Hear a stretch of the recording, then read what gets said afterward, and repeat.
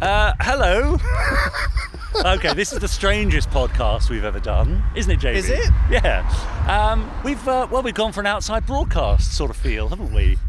Yeah, uh, hence the car zooming past. Yeah. So uh, Jamie and I are just walking back from a rather nice lunch at the King's Arms pub in Cookham. Uh, how long was the lunch? Uh, it was at least four-hour lunch. Some of it quite liquid, wasn't it, Jamie? well, some of your bits. Yeah. Yeah. Um, so uh, we thought that as we were walking back to my house to uh, record Fab Live a little later, which you would have seen last week, uh, we thought we'd record a little bit of the podcast on our walk back, didn't Yeah, we, Jamie? do the intro. So, uh, who are you? Uh, my name's Richard James, and you are? Jamie Anderson. And I think it's about time we started Pod 22. 22. This is Shane Rimmer, and you are listening to the Gerry Anderson Podcast. Five, four, three, two, one, one. Let's get started.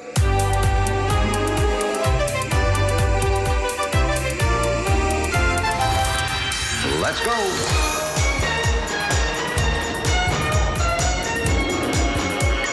Spectrum is green.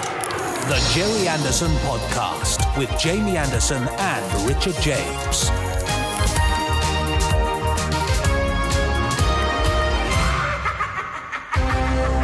So, uh, welcome everybody to the Gerry Anderson podcast, Pod 22, coming to you live from the are? Causeway. We? are on the Causeway in Cookham. Right, so why are Uh, we here? Well, we're walking back from the from the King's Arms, uh, and we just thought we'd do something a little al fresco. Well, really, because we're up against it time-wise, aren't we? Yes, So- because despite the fact that we were supposed to have multiple hours to get ready for the podcast and Fab Live, Yeah. we spent the whole time eating. Yes. So, uh, what do we have coming up uh, this week? It's all the usual stuff, really. Uh, as I say every week, we've got um, news from the Gerry Anderson universe. Yeah, a five course lunch repeating on us. yeah. We've got uh, listeners' emails that have been sent into podcast at gerryanderson.co.uk. uh, and the randomizer from Chris Dale, where he's uh, sat in front of a random episode of a Gerry Anderson show and gives his analysis and observations. Yes, indeed. Uh, also, you can get in touch with us on Twitter. You can uh, tweet us, Richard N. James, or I'm Gerry uh, Gerry Anderson. No, Well, I I'm wouldn't not. know. Not quite. I'm Jamie Anderson. Indeed. And uh, if you hashtag us Gerry Anderson podcast and uh, let us know what you think, as long as it's clean and uh, you know relatively. We can always beep it out. That's true. Uh, then we shall repeat it on the next podcast if you feel like it. Yeah. Um, so it's about this time that we normally head into a bit of a news sting. So shall we wait until we get back to the, uh, the studio? We can do a news insert at the studio, yeah. All right. Probably. Speak to you in a minute. Bye. Hi, Gordon Tracy speaking. It's time for the Gerry Anderson News.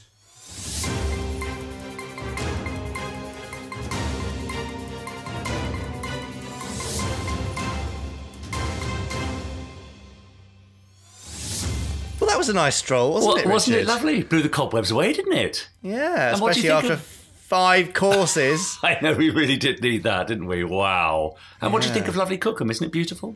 it's a beautiful place. Yes, you're very lucky to live there. I know, I know, I know. Timmy many- Mallett just around the corner, of course. Well, yes, many famous residents: Timmy Mallett and Yeah, Chris Stuart Barry. Epps, Chris Yeah, Barry. Uh, that's right. Tom Rosenthal. Yes, that's right. He's just up the Yeah. road. Chris Rea. They're all over here. There you go. Oh, yeah.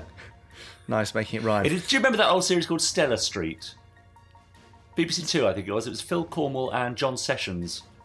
And Yes, the that the rings a idea- bell. The idea was that I think it was Mick Jagger working in the local uh, newsagents, and the whole street was populated with, uh, you know, A, B, and C list celebrities. and that's where you live, It's, essentially. just, it's a bit like living in Cookham. Yeah, exactly. Yeah. Lovely place. Yeah, but what a beautiful afternoon. That was perfect. It wasn't was. Anyway, so as we sort of mentioned in our literal preamble, Yes. we were ambling, weren't we? And We were. before this. Very good. Um, we've just been to the the birthplace of Parker's Voice, Yes. where that event has been commemorated with a plaque on the wall. Yeah. And that was all organised by Craig Johnson, and uh, we were joined by David Graham and uh, John Brown and uh, Yes, uh, Terry Adlam. James, Terry Adlam, Yes. uh, a couple of fans. Uh, Yeah. it was lovely. Yeah, it really was.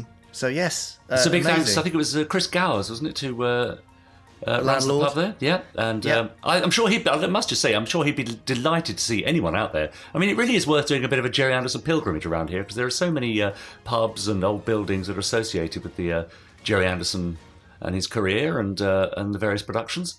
uh, get yourself over here and have a, have a pint or two at the King's Arms. It's lovely. Absolutely, head over. Yes, um, yes. Very nice food too. Yes.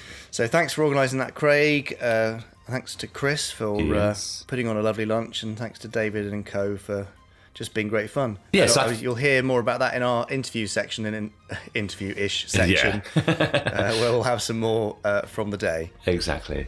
Exactly. Yeah. Uh, moving on from Thunderbirds to Captain Scarlet. oh, yes. Last week, last Yeah. Thursday, in fact, saw Cy Grant's birthday. Um, uh, now, Cy passed away a number of years ago, but to celebrate his birthday, we've uh, added another episode to our Beyond Anderson series. Ah, yes. Put together by obviously the uh, randomizer's very own Chris Dale, Mm-hmm. um, and it explores Cy's uh, life and career, but also uh, his activism too. He was a, a, a major activist in several areas. Oh, yes. So fascinating video on the YouTube channel there. Go and check it out. YouTube.com slash Gerry Anderson TV. Mm-hmm. I think I said slash then, but I meant slash. Slash. Yeah, we like That's fine. Slash. Actually, Slash from Guns N' Roses used to live around here as well. There you go. No way. It's true. Tapco, You're making it up now? Up the road. No, I'm not making it up, honestly. Amazing. Yeah. Uh, uh, Firestorm, Richard. Or you know Slash, as we've call been- him. Yes, Firestorm, yes. Firestorm that we've been talking about a bit too much, probably. No. Um, continuing to rack up the views on YouTube, over quarter of a million on YouTube alone. That's extraordinary. It's amazing. If you haven't seen it yet, what are you doing? Yeah. Why are you even listening to this podcast? Yeah. Uh, YouTube.com slash Firestorm HQ or just go to the website firestormhq.com. I mean, we say it's amazing. Really, people have been waiting and crying out for this for years. Actually, we shouldn't be surprised at all, should we? Really? Well, you you know, you never want to assume, do you? no. True enough. True enough. Um, and also on the firestormhq.com website, we have added or are starting to add some extra behind the scenes articles, interviews, etc. Mm-hmm. And I've started uh, that uh, with my Perpetual Power of Puppetry article, slightly Yes. updated for the Firestorm website, so you can go and read that. Great. On some merchy merch, merchy merch, merch. Oh no! Don't get me started. Hang on. What's this? Merchy merch merch. I mean, that's like a red rag to a bull, Jamie. It doesn't need its own theme. It's Oh, fine. I, I think you'll find it does. Nope. Leave that with me. Nope, stop it. Be quiet. Uh, as discussed uh, last week, Captain Black Friday is coming. So if you need to stock up on Jerry Anson bits and pieces uh, for Christmas gifts, Yeah. for yourself, or uh, you know, uh, just give them to any person in the street if you like. Yeah, why not? Black Friday is coming, uh, and we'll be doing some amazing deals across that weekend. Like what? So what, also- what you got? What sort of thing? Well, I don't know yet because What I'm I mean, still working sort of on that with yeah, Tim. what sort of merchandise have we got? You know, talking mugs and T-shirts and hats. I don't know. Yeah, the usual stuff: Great. DVDs, Blu-rays, uh, a few uh, script books, Nice. uh, novelizations, uh, possibly the MEV and Hovercraft Ah, might be yes. on sale, although they are very limited now. So Yeah, yeah. let's see. Um, I think the beanies are going to be back in stock as well, or Well, woolly ah, hats for those yeah. um, over twenty-five. Yeah. Uh, so the UFO and uh, International Rescue. Uh, Woolly hats will be back in stock. I tell you what. in time for December. They're pretty cool. What we could really do with is a Terrahawks bobble hat, couldn't we? With a with a with a, a zeroid, bobble on the Zeroid top. bubble. Yeah. It might be a bit niche, Richard, but thanks for the suggestion. Just me then, yeah. Okay. uh, speaking of suggestions, actually, Yes. what merch do you want to see? We'd love to know. Aha. Um, yeah. If you drop us a Apart line, from a, a Terrahawks beanie, which is obviously a no-no. that's too niche. Uh, no, but bear, bear in mind that it's very difficult to make toys, so don't request die-cast toys or repressed dinky toys from the 60s because it's just not commercially viable. Yeah. But if you're looking for uh, calendars, books, Yeah. uh, t-shirts, hoodies, etc., Hmm. posters, um, anything like that, badges, key rings, any particular thing that you think would go down well, you'd like to see and others would too, then Yes. Mm-hmm. let us know. We are all ears for. Uh, well, no, no, not really. All eyes. not all because we'll ears. Read your message. No, Uh, well, you know what I mean. Yes. Yeah. Okay. We're, uh, we're, anyway, we're ready to listen to and read from your words uh, if you send us some suggestions. Actually, please looking at some of the uh, the photographs uh, that I've already seen from the King's Arms this afternoon, I think I am all ears, to be honest. It's just an unfortunate angle, Richard. Don't worry. Um, so please do send those over when you get a chance. We'd love to hear your suggestions, um, but do be prepared for Richard and I to say, "Nope, sorry, too niche." Um, if you're Well. going to suggest uh, an investigator replica Oh. um, uh, chandelier that you can Oh. swing on, Oh, come on. uh, it's What- not going to happen. Oh, Uh, and if you get that reference, then you truly are a Gerry Anderson fan. uh, now, that's all exciting news. There's some slightly disappointing news this week, Richard, which is Ah. we've heard from Big Chief Studios that their figures are further delayed. Oh, Um, they've moved factory. uh, Just they want to get things right, which is admirable, absolutely. And we've suffered from this kind of thing before ourselves, so we do sympathise. Yeah. Um, but uh, there's another month or so's delay on the Scarlet and three brothers uh, figures, so Alan, Gordon, and John. I see. Um, although, if you have ordered from the Gerry Anderson store, had pre-ordered, then you will now get a special signed art, art print signed by Mary Turner on the Scarlet item. Ooh. Um, and Tim will be in touch soon to give you an updated delivery date. But uh, yeah, real pain, but Yeah, these things happen. And, they uh, do. Thanks for bearing with us. yeah, that's great. Uh, so there you go. That's all the news I have, Richard. Unless you've got any other news, because you'd like to interrupt me with news sometimes with actual news, don't you? Uh, I don't really have any actual newsy news, news, news. No, no, I Good, well, don't. It's probably a- a relief. Yeah, it probably is a relief, isn't it? No, Mm. uh, we, should, we should say we, did, we we mentioned that the Space Precinct DVD and uh, and soundtrack, which is coming out later this month. Oh, yes. and now we mentioned this message actually from Ian Jacklin, who tweeted us. We mentioned this on Fab Live, which uh, went out uh, last Monday on the uh, Gerry Anderson Facebook uh, page. Uh, Ian Jacklin got in touch to ask if someone could tell him if the the advert break bumpers uh, have been removed for the Space Precinct DVD box set because uh, he said the reason why I'm asking is I had the US release and after every five minutes or so it becomes rather distracting. Well, that's quite funny because after five minutes or so, Officer Orin becomes rather distracting as well, doesn't it? But uh, so I mean, I'm guess, yeah, I'm, I'm guessing they will have been removed for this uh, for this new release from uh, from Network. They're from the UK masters, so Ah, it'll be the UK version, which has got one one spinny shield ad break in, I think. But, Okay, uh, yeah. it certainly won't be as um, ad break bumper filled as the US. set. Yeah, good, good. Yeah, excellent. Great. there we go. There we are. So that's it for the newsy news, news, news this uh, this week. Um, please do get in touch with us. Uh, you can email us podcast at gerryanderson.co.uk. Uh, and we'll be reading some uh, listeners' emails very shortly. Later on, of course, we have the randomizer from uh, Chris Dale. Uh, so I wonder what he's been uh, subjected to this week. Well, stay tuned to find out. And uh, rather than, well, we have several very short interviews, uh, or shortish interviews this uh, particular podcast, uh, detailing our. Uh, our visit this afternoon to the uh, the King's Arms to unveil Our jolly Parker's jaunt. plaque. Yes, exactly. Um, so all of that still to come. Uh, meanwhile, on Twitter, of course, now Professor Brian Cox, we know, is a big uh, Gerry Anderson fan. I don't know if you saw he this. He tweeted, uh, yeah, he tweeted this week that he was watching an old Space 1999 episode, and uh, he said, "I wonder what Peter Cushing's agent said to him." It's a bizarre picture, that one. It is Do you know also, um, Professor Brian Cox was at Jonathan Ross's Halloween party and Oh. went in his Moonbase Alpha costume. Fantastic. So there you go. That's very good. He's a big fan. And finally, Jay got back in touch. Do you remember Jay? Now, we all enjoyed this, didn't we? Uh, challenged me to sing uh, the closing theme to UFO in the style of uh, the old Newsy Newsy News. Uh, which is basically a sort of a discordant hum, and Jamie joined in as well. And I said to him, "Well, listen, if I do it, put, pop a couple of quid towards children in need." And he got in touch on Twitter saying, "Fair play to you, mission accomplished, and a debt's a debt." Thanks, guys, and he did indeed uh, bung a few quid their way. Thanks, It's Very nice. So well done, Jay. Thank you very much. Yeah. So if you have any charitable uh, challenges you'd like us to undertake, Oh no! then Why you did feel, you say that? Feel free to send them in. Well, we don't have to do them, do we? If we do, it'll be fun, and maybe we'll make a few quid for charity. Yeah. Um, obviously, we uh, support a couple of charities. Uh, Anderson Entertainment and the Gerry Anderson podcast, Mm-hmm. uh, including Alzheimer's Society, where we have the Gerry Anderson Tribute Fund, um, the International Rescue Corps, Mm-hmm. who uh, do humanitarian and rescue work all over the world, and the Young People's Puppet Theatre. Yeah. So if you have a challenge and you would like to give some uh, cash to any one of those three, do email it in to podcast at gerryanderson.co.uk. We can't promise anything, but we'll do our best or possibly worst. Yes, yes. Oh, and also there is a final bit, I suppose. By the time this podcast goes out, we'll be coming quite close to this. Um, I don't know if many people would know, but I adapted one of uh, Gerry's old sitcom ideas, a treatment that Jamie found after Gerry had yes. died. Um, it was a couple of pages of A4 with some notes and a bit of dialogue about a proposed sitcom that was never made. Uh, well, Jamie very kindly said to me, uh, you know, do you want to do something with this? Knowing that I write the odd play here and there. And so I adapted it into a play called The Fat of the Land, and it's to get its world premiere uh, near Tunbridge Wells on November 24th. I think that week by the Blackham Country Players. Yes. And uh, with a bit of luck, we're going to try and get there and, and see it, aren't we, Jamie? We So are. That'll going to be uh, an interesting mission to rather fun. coordinate that, but we're going to do it. yeah, and we'll uh, we'll take some pictures if we can as well and uh, pop them up somewhere. Yeah, Maybe see you there. yeah, that'd be great. That'd be yes.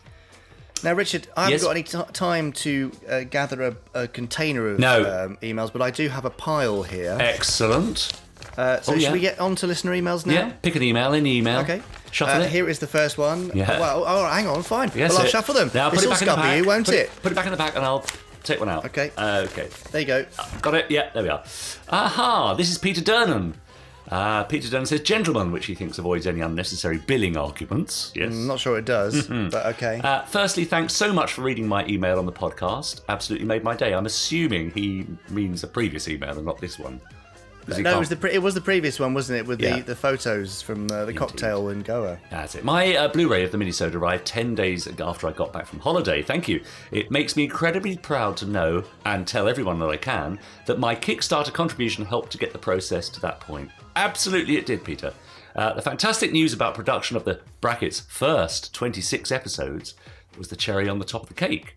Uh, the product is amazing, perfect blend of live action effects, Ultramarionation, CG, and all with a nod to what has gone before. I can't praise the whole team enough.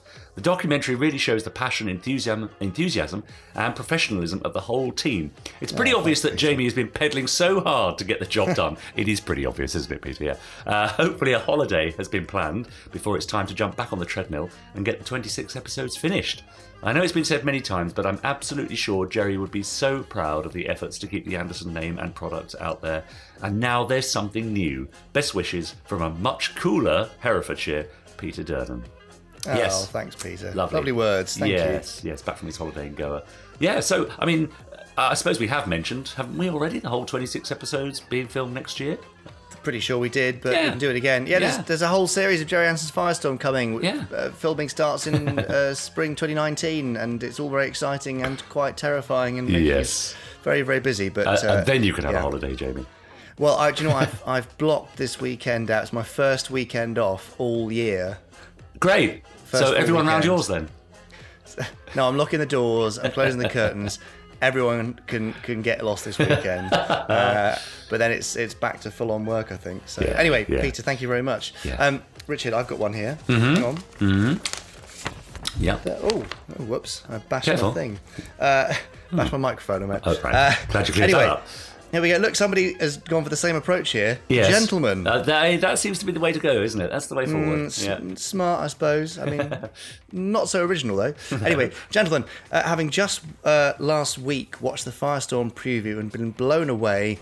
I was blown away oh, all over again by the announcement in Pod 21 that Firestorm is actually going to series. Hurrah. I live in Japan, so I imagine I'll have to wait for the DVD release, um, but I will buy it when it becomes available. I don't think you'll have to wait. There should be a Japanese broadcaster in due course. You'd think Um, so.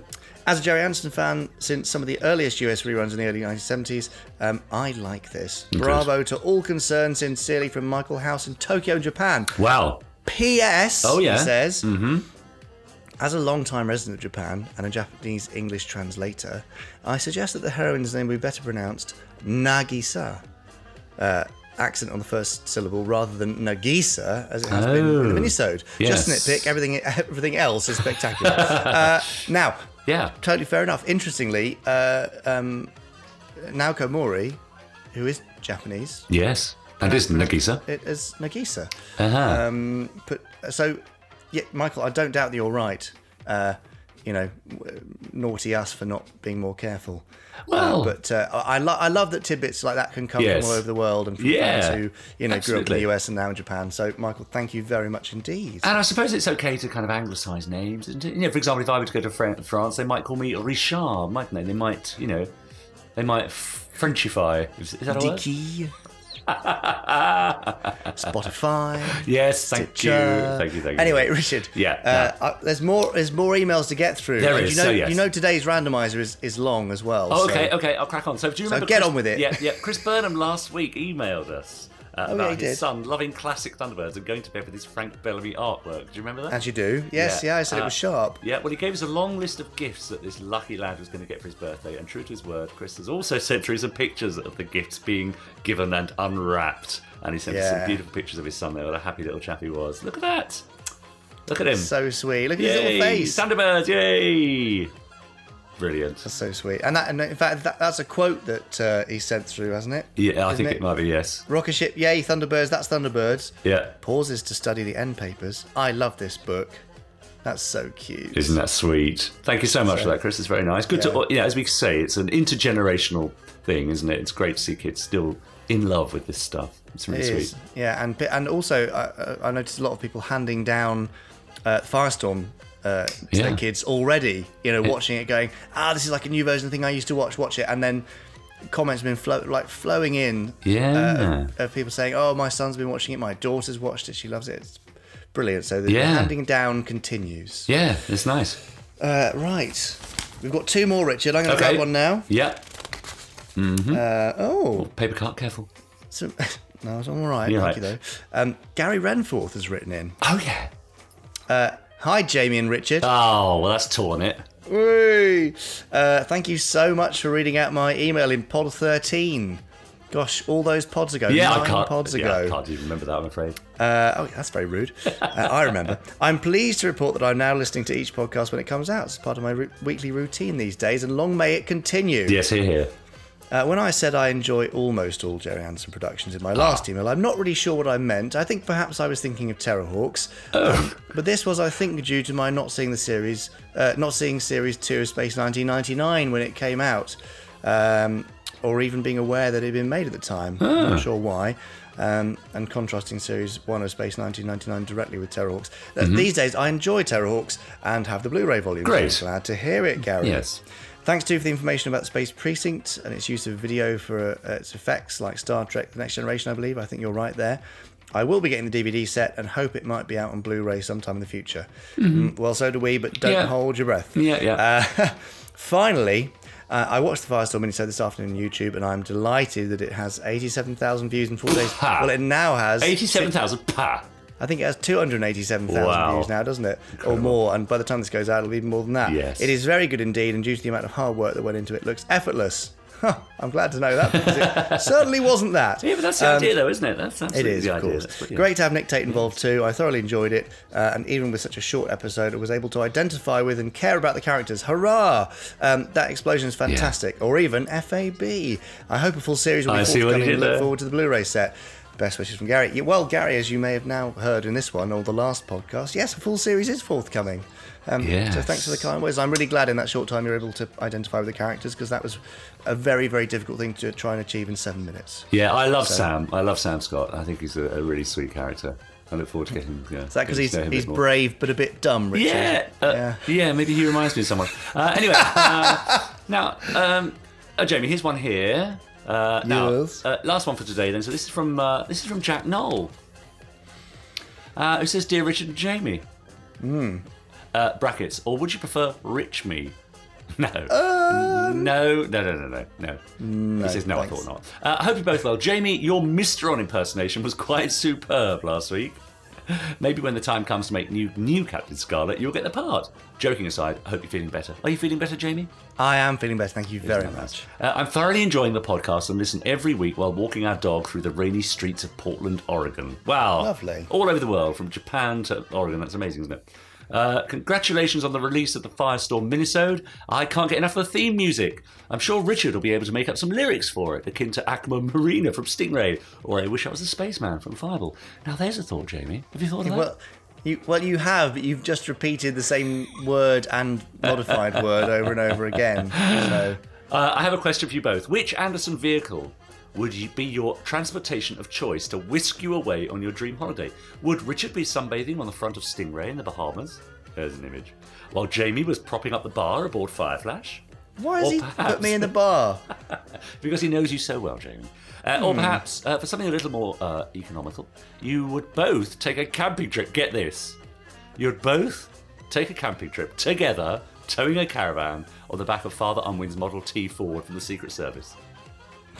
What do you think, Jamie? The choice is yours. uh, oh, I don't know actually. For a holiday, I A mean, you holiday? want a bit, bit of space and uh, you know comfort, wouldn't you? Yeah, I, think, Fa- you know? Fab One would be quite nice for for a domestic holiday. I think. yeah, that's true. I'm not sure how, how comfortable I feel with it aquaplaning me anywhere else. Yeah, I think I'd have to go with Thunderbird 2. Because, you know, those pods are going to be very useful, aren't they?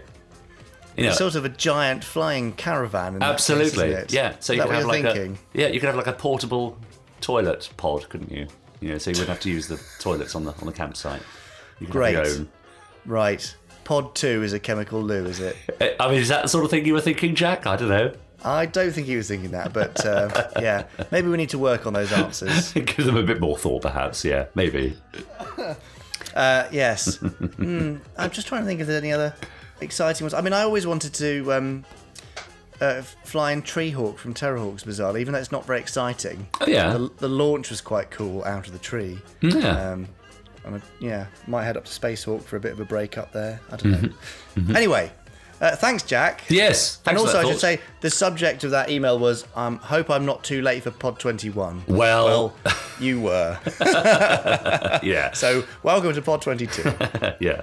Um, uh, so thank you to everyone uh, for, for getting in touch with us on uh, podcast at gerryanderson.co.uk. You can always uh, find us on Twitter as well, and you can uh, tweet us there.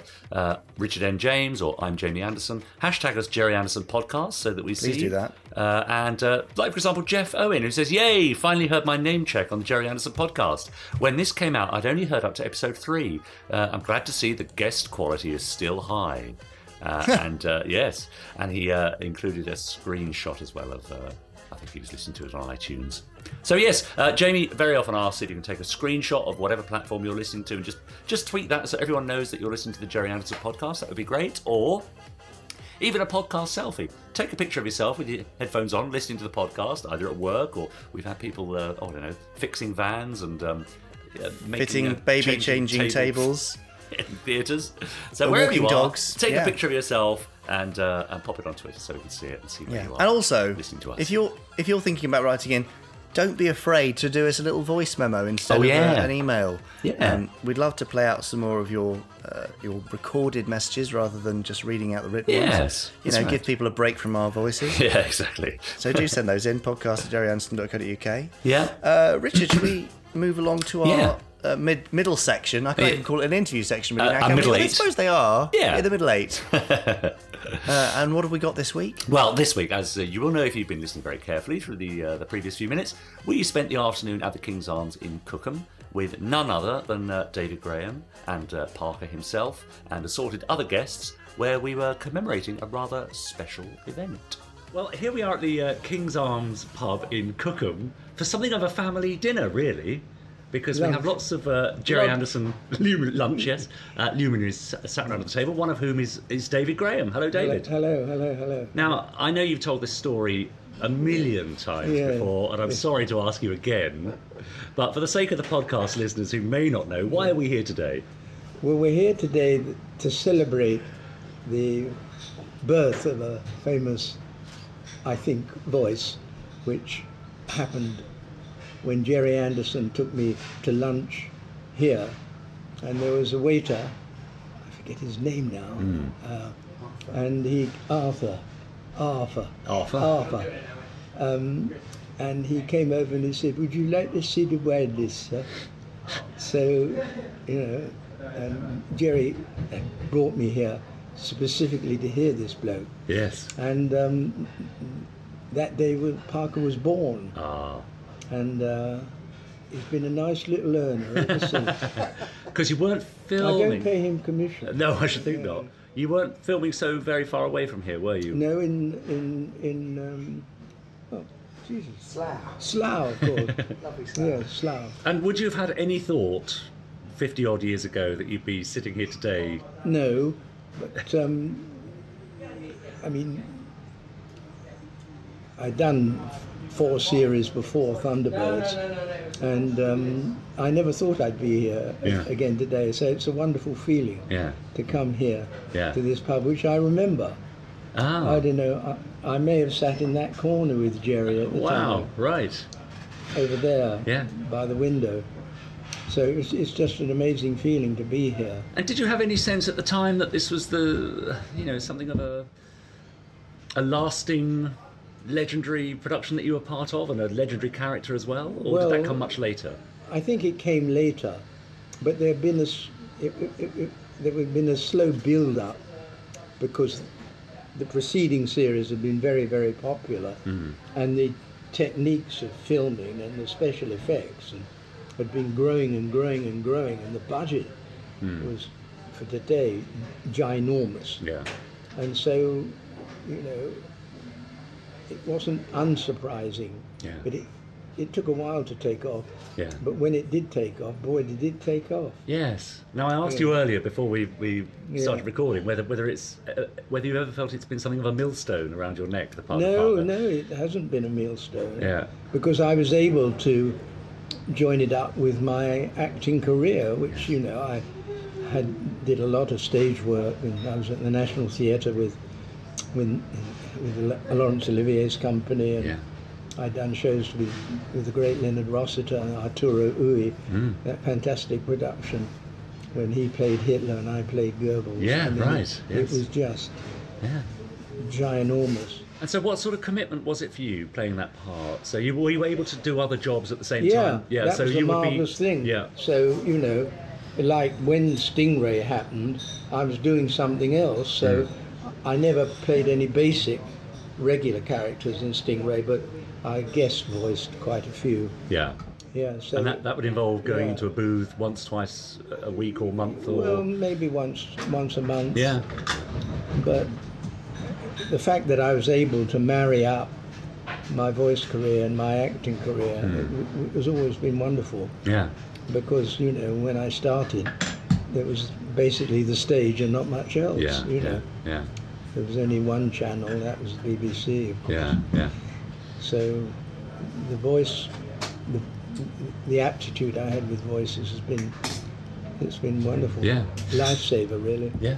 Uh, and we've all, we're also joined by uh, Craig Johnson around the uh, around the lunch table. Now, I mean, as much as we're here because really of, uh, of David, we're also here because of you today. So explain what uh, Amazing job. yeah, what part done. what part you played in getting us around this table today, Craig? Um, well, I've heard the story um, about how the voice of Parker's found and in, the, in this pub, and uh, I've heard it from Jamie's dad when he was on tour, and I've heard David say it. And when I um, heard Jamie interviewing David on in the podcast, I know it was a throwaway comment, but they said must have been a plaque at the um, the King's Arms, and I thought, well, a good idea that was. I didn't for one minute think that I'd be successful in getting one put up here, but uh, Yeah. here we are. Yeah. So what was the process of that? Who did you get in touch with first? Well, um, I looked online, investigated actually who owned the pub, and it's a large company called Mitchells and Butlers.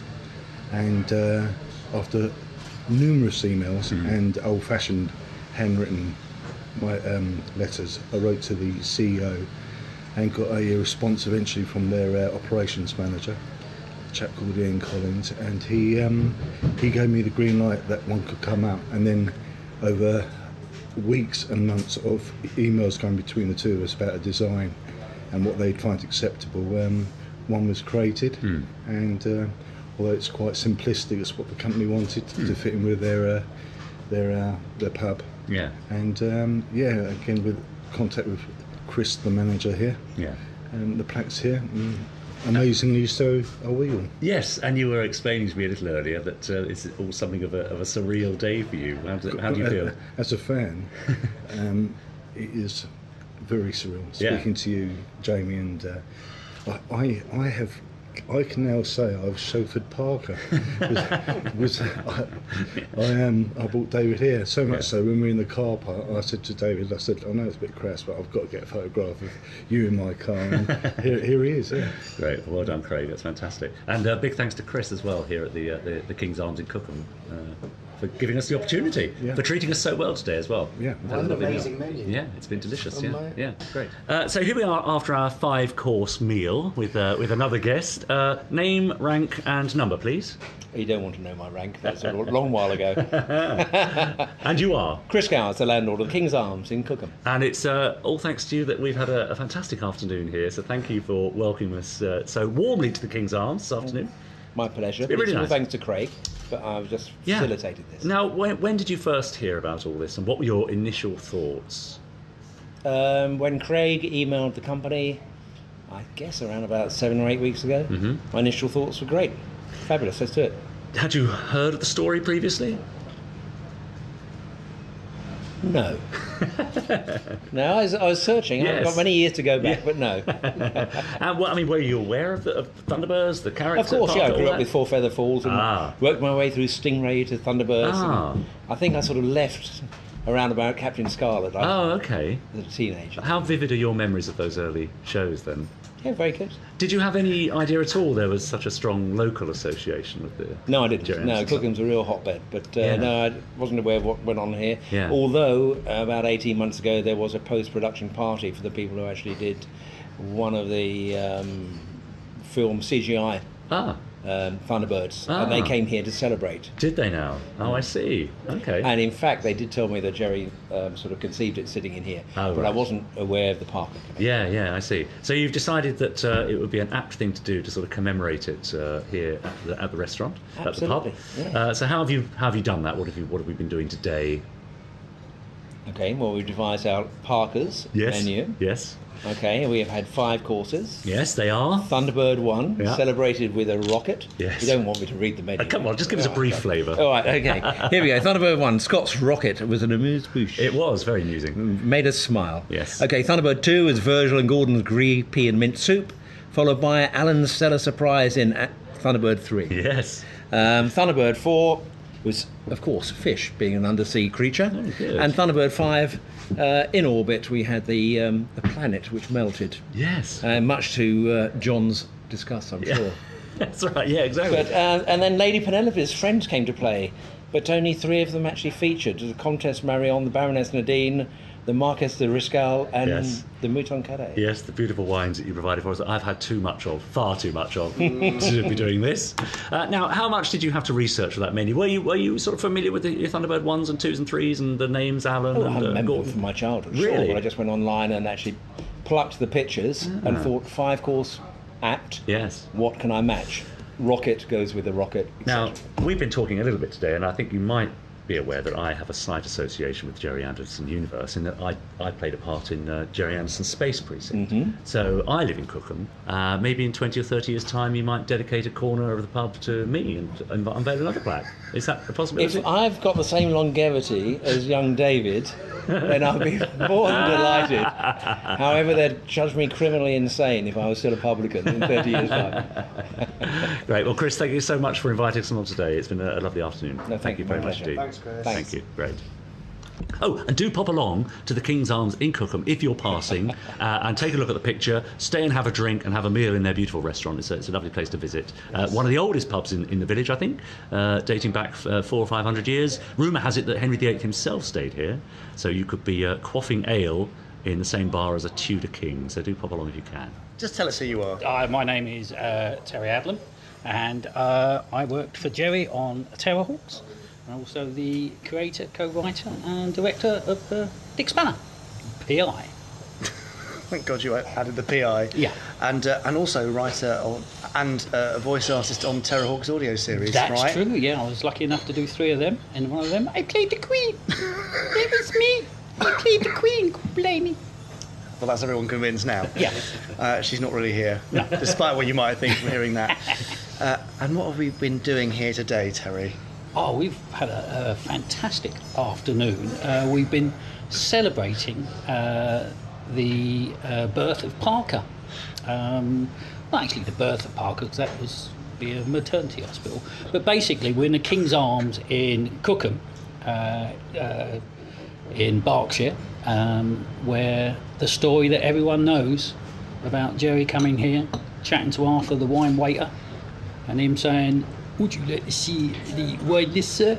Oh, that's very and Pretty good, yeah. the rest is uh, hysterical, a history. and uh, yeah, Terry. and we had Graham here today. Um, amazing guy, David M- Graham. David Graham. Sorry, Yeah, Graham. David yeah, Graham. David, yeah, yeah. You missed the pause in there. Yeah, uh, uh, amazing guy, and we spell- celebrate. We've got a, a plaque or a plaque. Um, Plaque. or plaque. Plaque. Plaque. Plaque. Up, up on the uh, up on the wall here in the King's Arms in Yeah. Cookham. It's been and we've had a fantastic spread. It's been it's been oh I've had enough. And is that the real reason you turned up, Terry, for a free lunch? Of course. Yeah, me too. Of course, yes. no, I was I was honoured and chuffed to be invited to such a historic event. Thank you very much. Uh, yeah. Is there any more chips? Excuse me. Um, and uh, how do you feel about this local history, Terry? The fact that you know, Parker was born so close to you and in such informal surroundings. Can I be serious just for a moment? Yes. That's enough.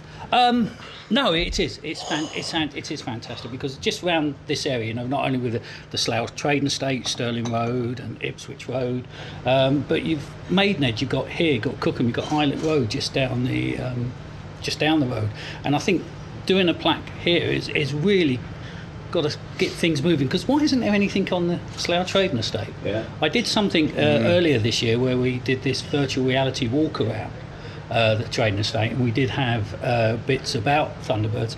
But there should be a, a, a plaque somewhere because it is so important, and you know, it'd be great for Slough Estates as well. Um, so yeah, I think you know it's a very historic place, not only just for films, but uh, you know, for Thunderbirds. So Well. there we are. We had a lovely day, didn't we, Richard? We had a very lovely day. I mean, we really thought we were going for a little plate of sandwiches Yeah. and, you know, putting a plaque on the wall. And, uh, and there we are suddenly. Yeah, dear you know, old Chris having a sat five down. course meal. Yeah, yeah, all Thunderbirds themed, which was very, very sweet, wasn't it? Very clever of him. Did you um, find that uh, amuse bouche a little bit on the spicy side? No, You know, what? The fruit? pineapple, pineapple and mango thing. Yeah, because I, I bit into an enormous piece of chili That'll be it. and uh, and then had to down a glass of wine to. Um, Oh, oh, is that what? Is that why? That's my excuse, Right, oh, anyway, but, okay. uh, okay. Yeah, we did have to be quite careful, didn't we? Because we were doing Fab Live that night. We kept saying, "I better not have any more," because uh, you know, got to go live but- in front of at least eleven people. As later. people have seen on that video version, the Yes. table was rather packed with It empty was. wine bottles and glasses. Anyway, we had a lovely time. Thank you, everybody, for uh, bringing that together. Yes, Um, and actually, I think Craig and Chris. If you head over to the Facebook, uh, the Gerry Anderson Facebook page, I think there's a, a, short, uh, well, uh, quite a good uh, video report up on there, isn't there? That was posted. Yes, and who who put that together, Richard? Well, that was Charlotte, of course, my darling wife, who came with us and uh, took some pictures and uh, filmed some stuff, and then edited it all together in time for us to put out on Fab Live. But it's also up on the uh, Gerry Anderson Facebook page. So Yeah, she did a brilliant job. Thank you, Charlotte. Yes, great. Well, if Now- you don't want to miss more things like that, then you should obviously subscribe and do all the things that Richard tells you to do every week. Yes, yes. Do I have to do it now? Subscribe, rate, Yep. review, and share. Yeah, I mean, that's all. It's quite simple, really. yeah. Tell us what you think and let other people know that we're here. Please get on with those things. Thank you. um, you can do that before or after the next section. Ah, here we go. Many people's favourite. Yep. Uh, it's another return to Chris Dale's epic randomizer. Are you ready, Matthew? Ready.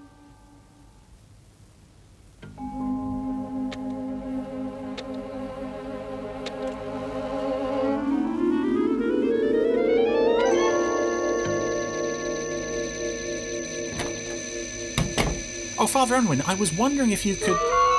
Oh,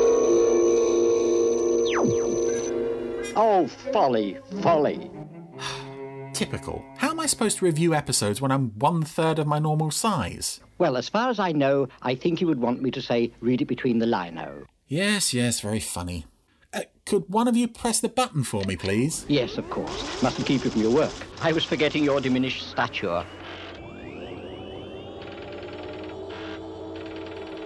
Um, could one of you drop the printout down to me, please? Most certainly. Most certainly. Thank you. Okay. Well, that about fits in with my day. Um, Matthew, could I possibly trouble you to uh, loan me the use of your suitcase for a little while? Uh, I might need something to scream into. Yes. Well, as if things weren't bad enough, we have one of the more infamous episodes of Space 1999's second season to get through today. Here's All That Glisters. Oh, folly, Terrybold. Now, Space 1999's second season has a bit of a reputation for uh, for maybe not being up to the, the quality of the first season. And there are certain bad episodes in the second season that I find, well, extremely boring. There are episodes like Rules of Luton, uh, New Adam, New Eve, and in particular, my least favourite from the second season, uh, One Moment of Humanity. They are dull, they are just lifeless and plodding, um, but they are bad in the same way that a bad episode of, say, Blake 7 is bad. This episode makes it onto a lot of uh, bad episodes lists. But this one is bad in such a unique way, all its own, that I find it fascinating. It somehow like goes right round the other side and, and becomes interesting again. It, uh, by all accounts, was an extremely unhappy production. Uh, oh dear, the shot of the eagle going through the cloud layer is just embarrassing. Um, yeah, an extremely unhappy production. When I've said in previous episodes that Martin Landau doesn't look happy, you can see it clearly in every frame of this episode. He looks ready to kill. You can say that again. And apparently, Fred Freiberger was really hooked by the concept of this episode. The entire cast hated it, and that made him love it all the more. Strange man. Oh no, too close too quickly can be dangerous. Mm, definitely. Now here we have uh, Patrick Mower is playing an Alphan geologist, uh, Dave Riley, who, uh, despite being Irish, fancies himself as uh, Used to loudmouth Irish Romeos. as a cowboy. For some reason, I don't know Geophysical scan confirms. why he is here. I don't know what the point of this character is. Um, it's something that I have mentioned before. Characters being inserted into the shows to do deliberately stupid things to keep the plot moving. Usually, that comes from one of the regulars suddenly having a lobotomy and and acting the fool. This guy has been brought in specifically for this episode to be just oh annoying as hell. Um, and I suppose it's much like with the whole Tony's beer brewing thing. This is meant to be entertaining character development.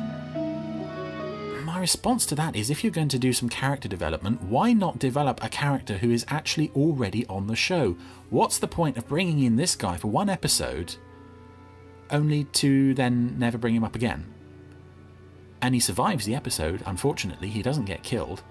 Um, why, if you're going to focus on characters, focus on the characters that are actually in your show. I don't know, bring Doctor. Oh no, not Doctor Matthias. Doctor Matthias quit. Um, um, you could bring along Ben Vincent or or Bill Fraser or just somebody. Unless this was going to be his introduction, and you were going to keep bringing him back. Otherwise, this doesn't make any sense. Anyway, oh, I was going to say I've talked enough about him, but here he is again. Hey, that's my lucky hat. lucky hat. Never seen one of these before, eh, Maya? Well, that's the trouble with your planet. They never had the wonderful state of Texas. Yeah, she also doesn't have a planet anymore. You git. Don't rub it in. We had many wonderful things on Psychon. All right, everybody, gather around. And you really don't want to be annoying this woman who can turn into a 10 foot dinosaur monster and rip you apart with her bare hands. It's not a very good idea. But as we're going to discover, this guy is full of not very good ideas. Anyway, the story of this one is that the Alphans, uh, once again, their life support system has run out of something. Um, it was always running out of something in the second season. So they've come to this planet to find Milgonite. Um, not sure why it needs six people for this mission. But there we are.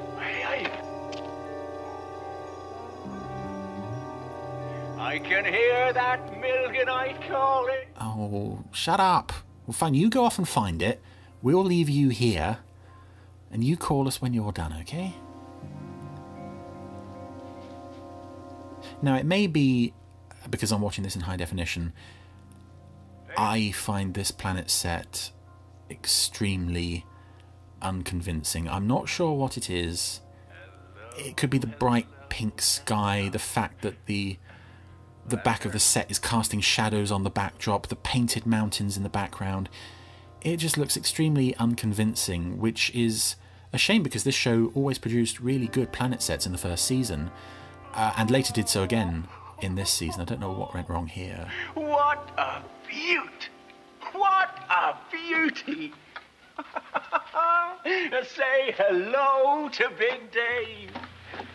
I hate to break up your romance with this rock, but we've got work to do. No. The No. rocks understand me, Commander. Me wives never did, but the rocks do. Oh, your wives left you. Fastest gun on Alpha. Oh, God, I'm being hit with crap. I'm being hit with crap from all sides now. Oh. Anyway, Get ready to dig for gold. so they found what they think is a, a vein of milgonite. And uh, oh, Dave has brought along a little revolver thingy. Oh. he, he's brought along this uh, scanner thingy that he's using as like a, a six shooter in keeping with the whole cowboy thing. Um, he's done that whole spin it around on your hand thing, and in the process, he knocked his uh, stun gun from its holster, and it was hanging on for a, a second. And as he walked out of shot, the the gun must have fallen out of the holster because I heard a thump, and it doesn't seem to be there now. I've not noticed that before.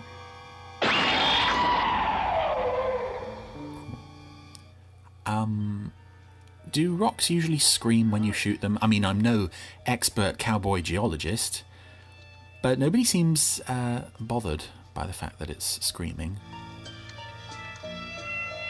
Although they are interested in the fact that it seems to be bleeding. Hello?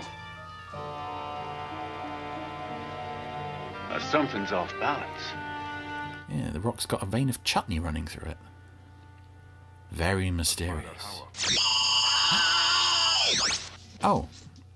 Um, Tony went for a look at the rock. Tony has now been zapped by the rock. This is extremely concerning. Everyone's got their worried expressions. Oh, except Patrick Mower, who. Uh, oh, and Martin Landau. He's dead. Oh. Oh no. Minus two hours, 45 minutes to lift off. Tony's dead. I'm sure he's really dead, and they're not just faking us out. They wouldn't do that to us. Helena. I'm a doctor, John, not a miracle worker. Ow! Oh, ow! ow. But the unknown. Ooh. Tony's brain is still functioning, Helena. It's one of the mysteries of life, Maya. Okay, okay, I can forgive the uh, the Star Trek ripoff line only because that subtle dig at Tony's intelligence was included afterwards. That's uh, I'm sure it wasn't there deliberately. That's beautiful.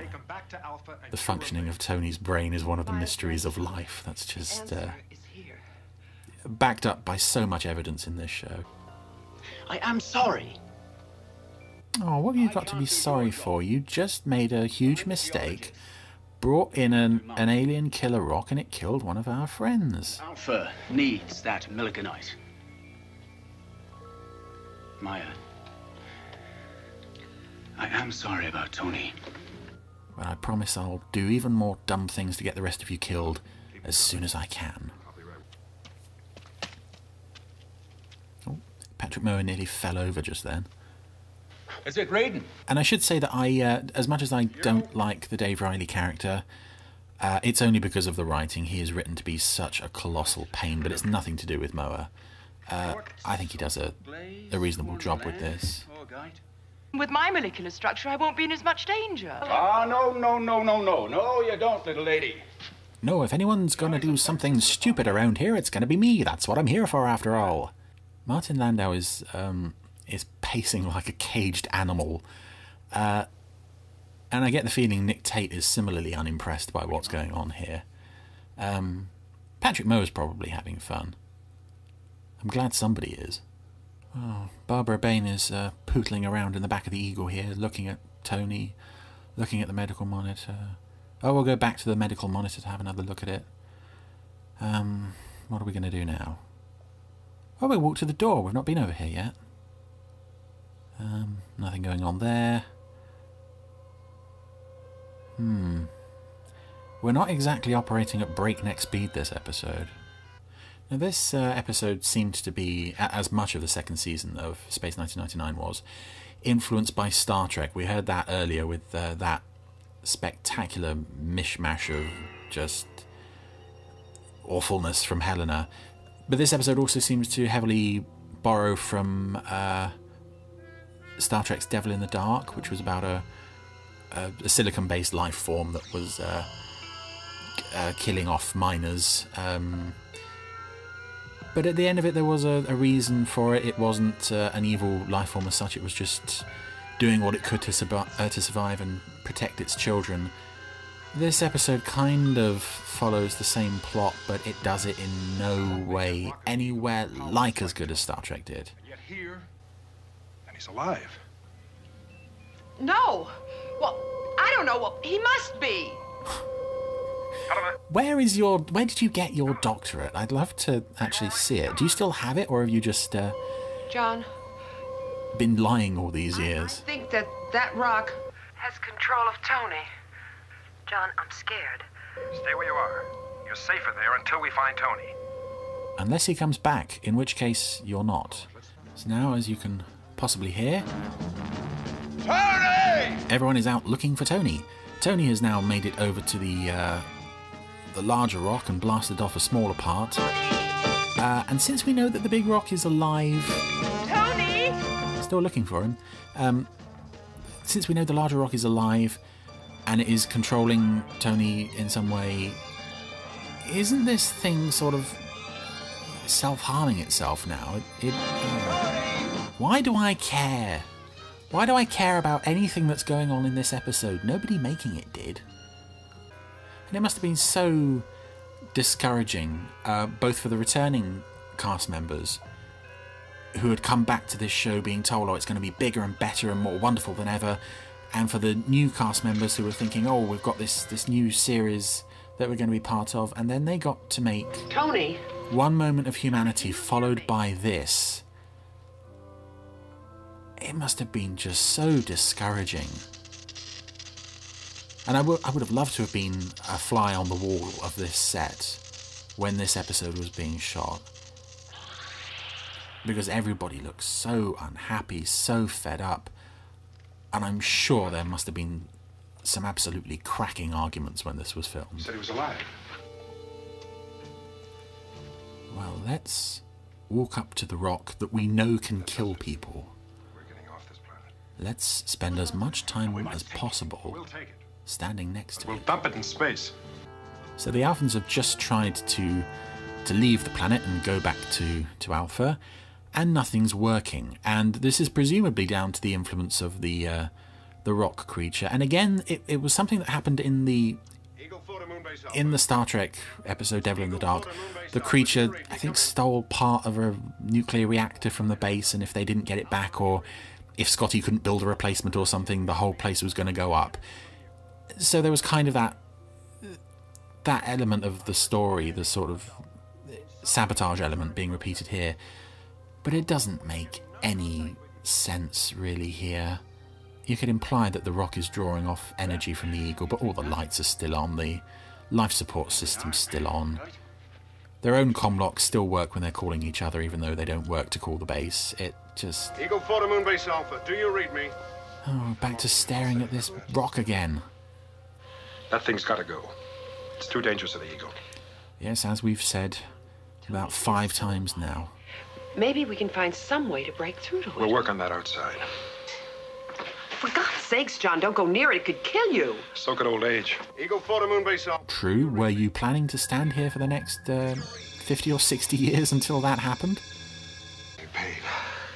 Blue. It's yellow. What was blue.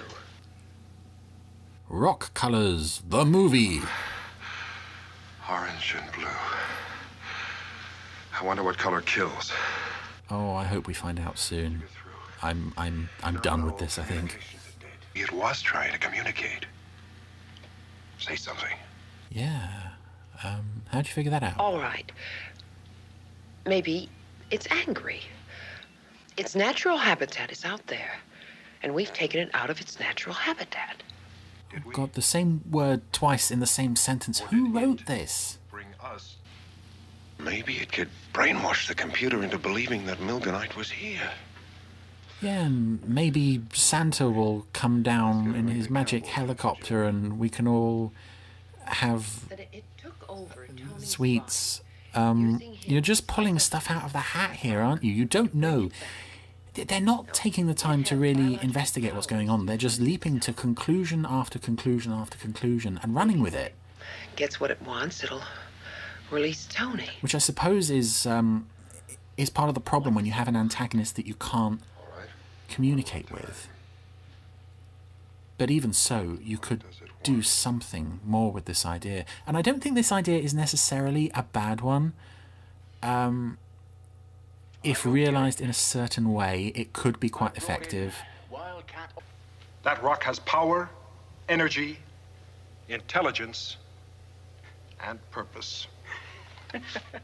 I, as much as I wish I could have been a fly on the wall when this episode was being made, I wish I could have been a fly on the wall when Martin Landau first read this script and realised some of the lines he was going to have to say.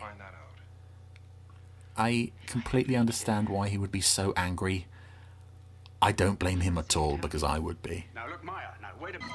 So now, on the wild theory that the rock is intelligent, we're going to have Maya turn into a rock. Um, I think she's in communication. And again, it, it shows that they are just working on the assumption that this thing is alive. I don't know if it was yet established in the show, but it was later on that Maya could only turn into something that was alive. But here she's just magically the rock. Um, oh, Tony's gonna. No, not Tony. Well, I was only trying to see if our weapons could be effective against it. You fool! Oh, oh, Martin Landau, I love. Suppose I kill Maya in retaliation. I love you anyway, but I love how much you not only don't care about this script, you are just letting it show. It's wonderful. Please, more of that. The rock changed color. It's green. Helena? Green. The colour for rocks is green. Yeah, Barbara Bain is getting uh, very short shrift in this episode. She's just being left with Tony. Oh, but now the prop guys are shining green lights in her direction, preventing her from leaving. How will she get out of this? Um, I am on the edge of my seat. But that's only because um, my microphone is on the desk, so I have to crouch down quite low. Uh, otherwise, I don't care what's going on. See, this is how we're having we're having to jump through hoops to make this immovable prop a threat. And the way that threat is realised is just with pathetic green lights being shone on the display panel behind her. Helena, I told you to get out of there. I can't get out! I forgot how doors work. Okay, so the the alien force thingy has uh, has got her in the green beam of whatever. Oh no! There's a shot of the eagle from the outside with green glitter all over it. Can you get out? Door won't open! Try to get out. You didn't try to open the door. It immobilized you before you got there. What are you talking about? It's exploring our storage supply Um, wall. yeah, the the green light is rolling around the Alphan supplies, but there's a, a case there, very prominent with the words Tom Bowen on it. Uh, now, Tom Bowen was the name of Brian Blessed's character in uh, The Day After Tomorrow, or Into Infinity, if you prefer. So this is evidently a reused prop from that that one-off special that was produced between the two seasons of Space 1999.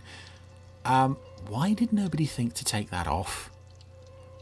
Unless there is an Alphan on on Moonbase Alpha named Tom Bowen.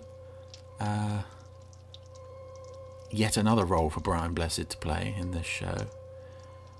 Oh, you know it's bad when I'm I'm thinking about characters who aren't even in this show. Water. It needs water to survive. Yes. And it'll get it any way that it can. Yeah, I think I get the scene. Now, the rock, well, all these rocks needed water to survive.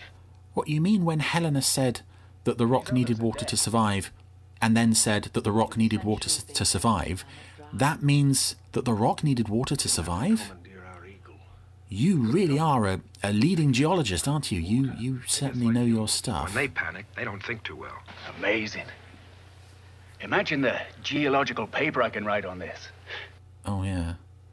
held prisoner on pink planet by angry rock that needed a drink. Is mostly water.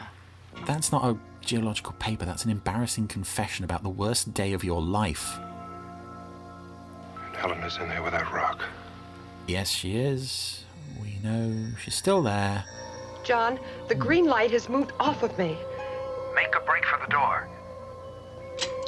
Oh, yeah. Brilliant strategy, thank you. And get the door open!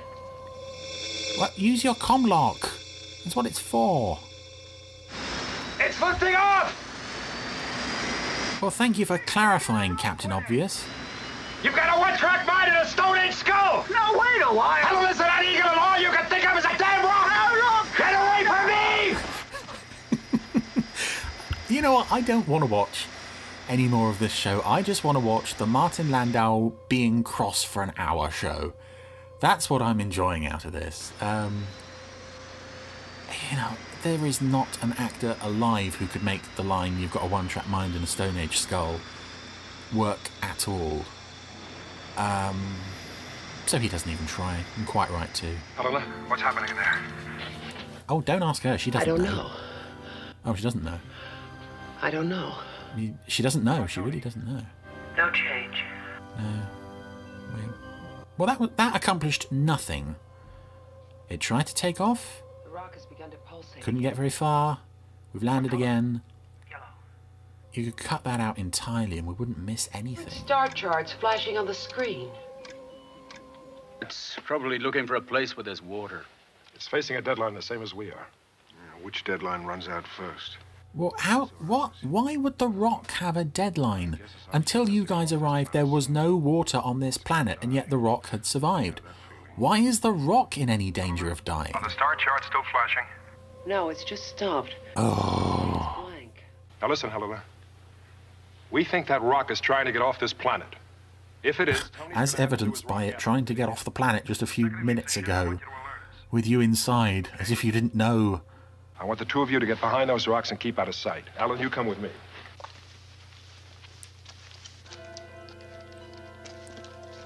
Yeah, again, you have woman who can turn into 10 foot dinosaur monster. Oh no, no, you go and hide, woman. This is a job for men. It's like she could she can run rings around you guys in the terms of getting stuff done department. Why do you kick her out of the way? Ah, anyway, dead Tony, not dead Tony, whatever, is now up and on his feet again, off to get more rocks. I have to wonder if uh, how much of the day-to-day running of this show Gerry Anderson was involved with during the second season. I know he said that with Fred Fry, uh, with Fred Freiberger as the producer, he would let him be the producer for better or worse. But I have to wonder if there were days like these when he came down to the set to see what was going on and uh, then just despaired. And he'd have every right to. You too, huh? You think the rock is all I care about? Well, no, I think you also care about acting like an imbecile, um, pretending to be a cowboy, pretending to know what you're talking about, pretending to be a character on this show when you clearly aren't. Um, I could go on, but honestly, I don't care enough about you to do so. Well, in addition to um, being able to control Tony, uh, Koenig and, and Alan have just zapped him with their stun guns, and he has been transported back to the Eagle. So that means that the rock has the power of teleportation. Yes. In that case, why doesn't the rock just teleport itself into the Eagle and just do why, what, how? Hoping it would loosen the rock's grip on. Oh no. I I It's odd because usually with bad episodes of Space 1999, the second season in particular, I I find them just boring. As I said at the front, this one is like a badness all its own, but it's never really irritated me before. Usually I, I found That means it's entertainment value in how truly awful it is. I'm not sure why this time it's getting to me the way it is. but I'm really not enjoying this. We have Tony's commlock. We're going to use it to try to open the Eagle door. Why can't she use her own commlock to open the eagle door? Hey, cowboy! He's gonna do something stupid. That's uh, Martin Landau's response whenever Fred Freiberger appeared on the set. Come on, let's get out of here. Um, how? If you've been pretending that you can't get out. Oh, now you can, apparently. I'm not even going to question that because uh, Dave has now forced them out anyway. In an attempt to, um, I guess, kill the rock, thus proving to everybody that he's not a git. Um, unfortunately, Tony! He'll be all right, Nomaya. Yeah, you know, he just had complete cardiac arrest and was pronounced dead, but he'll be fine. We're going to get into how he recovered from that? No, no, we're not. No, because Dave has now fallen under the control of the evil alien rock. That's the cliffhanger going into the final act, uh, advert break. As if we even care what happens to this guy. I don't care. I don't care about anything anymore. Oh, he had to go charging in there. We owe him for that. It got Helena and Tony out. How you doing? Well, I suppose when you're as stupid as he is, Taking longer to adapt than I thought. eventually at some point your stupidity is going to lead to positive results, uh, even if very rarely. That rock could become too powerful to beat if it gets reinforcements. Alan? Well, it seems pretty much all powerful at this point anyway. It's beaten you guys at every single turn. And that's something else I find really disheartening about this episode is that we've seen these guys battle so many truly evil, powerful people and you know unknowable, mysterious forces that have almost overwhelmed them, but they've always come through. And now they just seem like a bunch of utter morons. All of them. So the latest uh, thrilling development in this story is uh, Dave has uh, just taken into the Eagle what he thinks is another piece of the rock, but is in fact Maya disguised as a rock. Um, with the aim, I guess, of communicating with it, but unfortunately, um, Get out of there! I can't! It's pulling me towards it! But you can break its grip! It's using most of its power to fuse me! This is an odd shot of Maya um, trying to break free from the the attraction of the rock.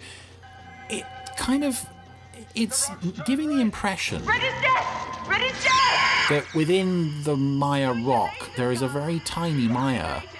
Um, I, I suppose it's it's meant to imply that there's a, the mental struggle, but the the image is of like a very small Maya trapped inside the the larger rock.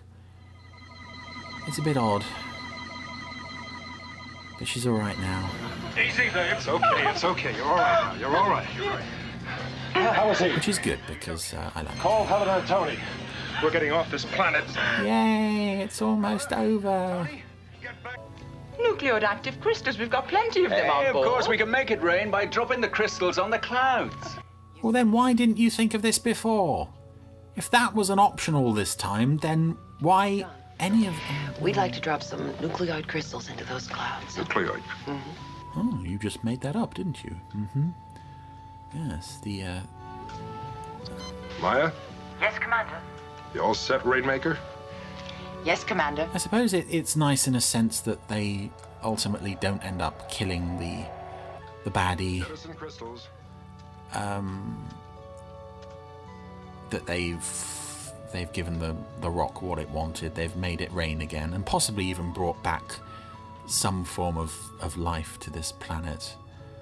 However, and I keep going back to the Star Trek comparison with this episode because it is so so on the nose, I think.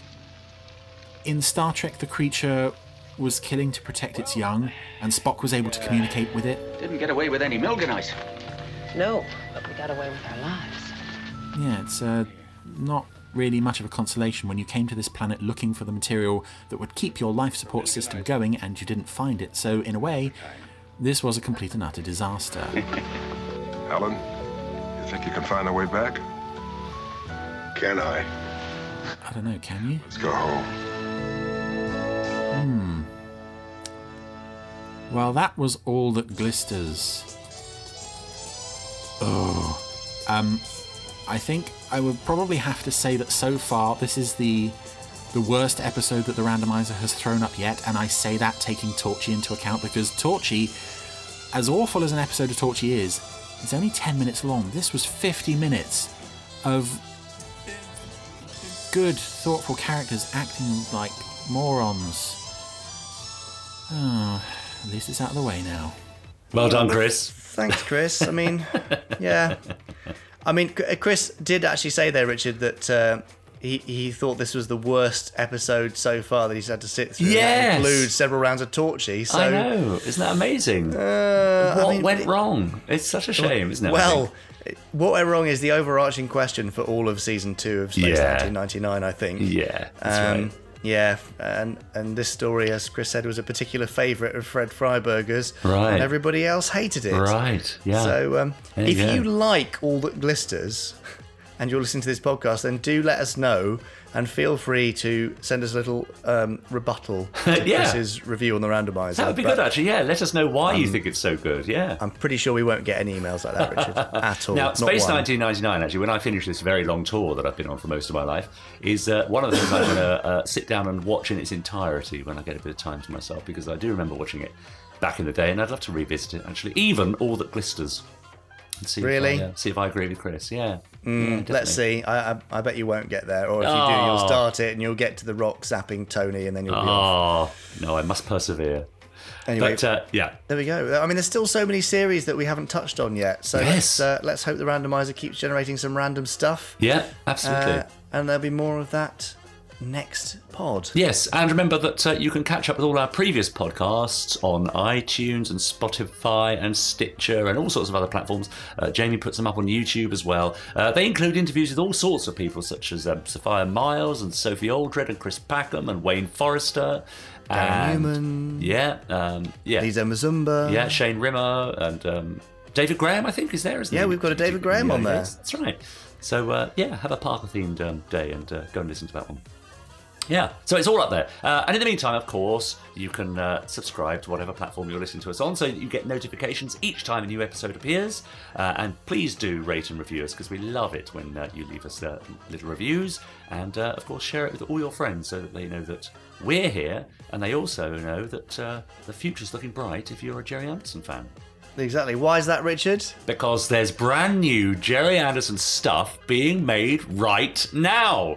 Thank you very much for saying that. It wouldn't be the same without It you really saying wouldn't. It really wouldn't. that. Indeed.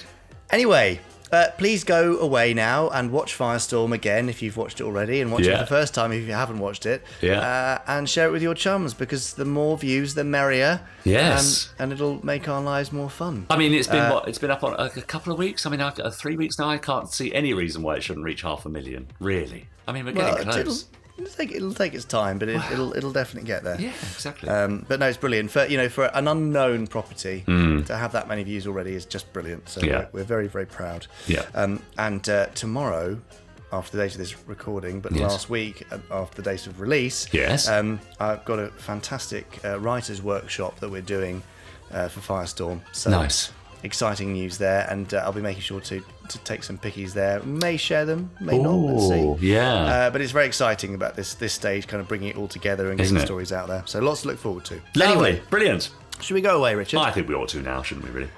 Brilliant. Well, thanks, Thanks for for listening, joining everybody. us, yes. We'll see you next week. Yeah, see you then. Bye. Bye.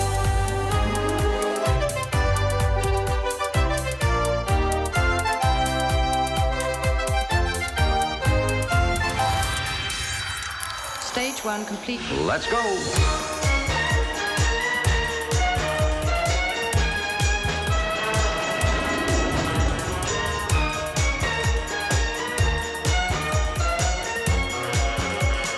Spectrum is green.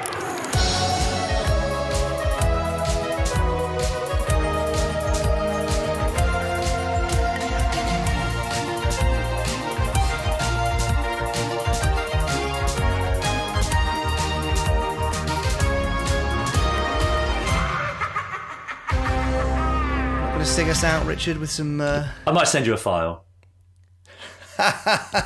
no, seriously, I have been giving it some thought, and I Have can you? see that it's it's touched. You know, I've really touched on something out there, haven't I? The, the country's behind me on this, so I might. Um, When you I'll- say the country, do you well, mean? well, at least two or three people have said they enjoyed it. Yes. So I might record a little something special today and uh, send it to you to put on the end of the podcast. And I'll tack it on. So if you're listening to this now, then hang on until we stop talking, and then hang on a bit further, and you might hear something special from Richard, unless I deem it to be so terrible that I can't possibly put it on. Ah, the country holds its breath. Uh, they, those three people hold their breath. yeah, let's not keep them waiting. Thanks, Dickie. Speak to you bye. soon. Bye. I would now like to perform for you the Captain Scarlet theme tune, Captain Black Friday Merch Mix. Merchy, merchy, merchy, merchy, merch, merch, merch, merchy, merch, merch, merch, merchy, merch, merch, merchy, merch, merch, merchy, merch, merch, merchy, merchy, merch, merch, merch, merchy, merch, merch, merch, merchy, merch, merch, merchy, merch, merch, merch, merch, merch, merchy, merchy, merch, merch. Merchy, merch, merch, merchy, merchy, merch, merchy, merchy, merch. Merchy, merchy, merch, merchy, merchy, merch, merch, merch, merchy, merch, merch, merchy, merch, merch.